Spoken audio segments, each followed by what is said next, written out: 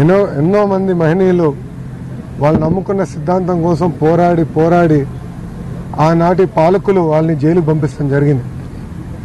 మహాత్మా గాంధీ గారు Nelson Mandela గారు వాళ్ళందరూ నమ్ముకున్న సిద్ధాంతం కోసం పోరాడి జైలుకి వెళ్తాం జరిగింది. అదేవిధంగా చంద్రబాబు నాయుడు గారు ఆంధ్ర రాష్ట్ర నిరుద్యోగ యువతి యువకులకి పెద్ద ఎత్తున ఉద్యోగాలు ఉపాధి కల్పించాలనే లక్ష్యంతో యుద్ధ ప్రాతిపదికంగా ఇతర రాష్ట్రాల్లో అమలైన స్కిల్ డెవలప్మెంట్ ప్రాజెక్ట్ తీసుకొచ్చి రెండు లక్షల పదిహేను వేల మందికి ట్రైనింగ్ ఇచ్చి దాంట్లో ఎనభై వేల మందికి ఉద్యోగాలు కల్పిస్తాం జరిగింది. చంద్రబాబు నాయుడు గారు మాకు ఎప్పుడు ఒకటే చెప్పేవారు. ప్రభుత్వానికి జవాబుదారితనం ఉండాలి. మన ఇచ్చి- ఇచ్చిన హామీలను నిలబెట్టుకోవాలి. ప్రజాప్రతినిధుల దగ్గర నుంచి ముఖ్యమంత్రి గారి వరకు అందరూ ఎఫిషియన్సీతో పనిచేయాలని ఆనాడు చెప్పారు. ఆనాడు చంద్రబాబు నాయుడు గారు యుద్ధ ప్రాతిపదికంగా పనులు చేశారు కనుకనే పెద్ద ఎత్తున ఆంధ్ర రాష్ట్రానికి పెట్టుబడులు వచ్చినాయి. పెద్ద ఎత్తున నిరుద్యోగ యువతి యువకులకి ఉద్యోగాలు కూడా వచ్చినాయి. కానీ ఈ ప్రభుత్వం అధికారంలోకి వచ్చిన మొదటి క్షణం నుంచి ఎట్టి పరిస్థితుల్లో చంద్రబాబు నాయుడు గారిని ఇబ్బంది పెట్టాలి దొంగ కేసులు బనాయించాలి జైలుకు పంపించాల లక్ష్యంతో పనిచేస్తారు దాంట్లో భాగంగా ఏమి ఆధారాలు లేకుండా ఏమి కేసు లేని స్కిల్ డెవలప్మెంట్ కార్పొరేషన్ తీసుకొచ్చి దొంగ కేసు బనాయించి ఈ రోజుకి ఇరవై నాలుగు రోజులు జ్యుడిషియల్ రిమాండ్కి చంద్రబాబు నాయుడు గారు పంపిస్తాం జరిగింది. ఆంధ్ర రాష్ట్ర ప్రజలందరూ కూడా ఒక్కసారి ఆలోచించాల? నలభై ఐదు సంవత్సరాల అహర్నిశలు ప్రజల కోసం రాష్ట్రం కోసం దేశం కోసం త్యాగం చేసిన వ్యక్తి చంద్రబాబు నాయుడు గారు. ఆనాడు సైబరాబాద్ కానీ అమరావతి కానీ విశాఖపట్నం కానీ అటు రాయలసీమలో అనంతపూర్ కర్నూలు కడప చిత్తూరుని పెద్ద ఎత్తున అభివృద్ధి చేసింది చంద్రబాబు నాయుడు గారు. ఆయన చేసిన మంచి పనుల కోసమే ఈరోజు ఈ సైకో జగన్ ఆయన్ని జైలుకు పంపిస్తాం జరిగింది. గత ఇరవై నాలుగు రోజులుగా శాంతియుతంగా తెలుగుదేశం పార్టీ కార్యకర్తలు ప్రజలు అందరూ రోడ్డుపైకి వచ్చి వాళ్ళు నిరసన వ్యక్తం చేస్తాం జరిగింది. మొన్న మోట మోగిద్దామన్న కార్యక్రమంలో కూడా పెద్ద ఎత్తున సామాన్యులు పాల్గొని ఆ కార్యక్రమాన్ని కూడా జయప్రదం చేస్తాం జరిగింది. మొన్న మేము పొలిటికల్ యాక్షన్ కమిటీ మీటింగ్ పెట్టుకున్నాం. దాంట్లో భువనేశ్వరి అమ్మగారు చాలా స్పష్టంగా అక్టోబర్ రెండో తారీఖు నాడు నిరాహార దీక్ష చేయాలనుకుంటున్నాను. మీరందరూ ఒప్పుకుంటే అని ఆమె కోరటం జరిగింది.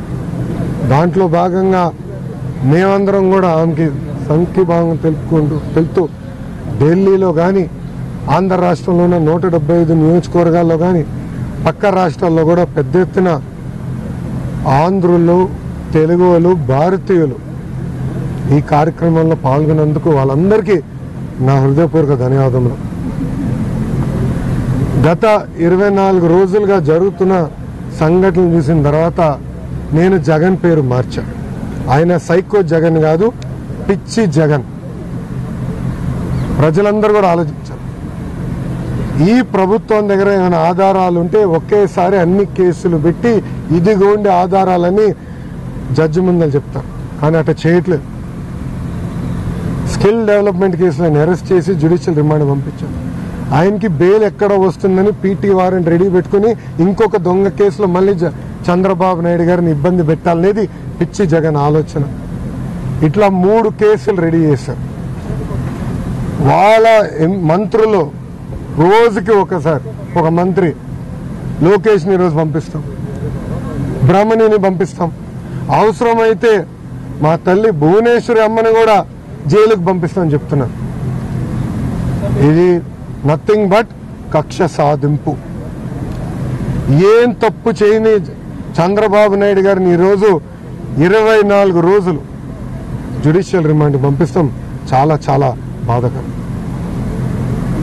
మేము తెలుగుదేశం పార్టీ తరఫున పెద్ద ఎత్తున మా పోరాటం కొనసాగిస్తాం మేము తగ్గేదే లేదు ఈ ప్రభుత్వం చేస్తున్న దొంగ పనులన్నీ ప్రజల ముందర పెడతాం ఆధారాలతో సహా అన్ని ఎక్స్పోజ్ చేస్తాం. మా పోరాటం ఆగదని ఈ సభాముఖంగా ఆంధ్ర రాష్ట్ర ప్రజలందరినీ నేను తెలుపుకుంటూ ఇప్పుడు మీడియా మిత్రులకి ఏమైనా ప్రశ్న ఉంటే దానికి సమాధానం చెప్పడానికి సిద్ధంగా ఉన్నాను సార్ ఇప్పుడు మీరు ఆంధ్ర వస్తే అక్కడ అరెస్ట్ చేస్తామని కూడా అక్కడి నుంచి అంటున్నారు. ఏమంటారు? మీరు ఆంధ్రాకి వెళ్తే. ఇప్పటికీ మూడు కేసులు ఉన్నాయని తెలుసు. మొదటిది స్కిల్ డెవలప్మెంట్ కార్పొరేషన్. రెండోది ఇన్నర్ రింగ్ రోడ్ రోడ్ లేని ఇన్నర్ రింగ్ రోడ్ మూడోది ఫైబర్ గ్రిడ్ నేను గతంలోనే చెప్పా ఈ మూడు నేను మంత్రిగా పనిచేసినప్పుడు నా శాఖకి ఎటువంటి సంబంధం లేని నిర్ణయాలు. సో దొంగ కేసు పెట్టి చంద్రబాబు నాయుడు గారిని ఎట్లా అరెస్ట్ చేశారో అలా చేస్తే ఇంకా న్యాయమే మమ్మల్ని కాపాడాలి. చట్టాలే మమ్మల్ని కాపాడాలి. Can you speak in English? First finish Telugu నేను అంతేనా? ఏం బా క్వశ్చన్స్ లేవా మీడియా మిత్రులకి? TV nine? ఏం బా ప్రశ్నలు లేవా? అందరి క్లారిటీ అందరికీ. క్లారిటీ వచ్చేసిందా? Okay thank you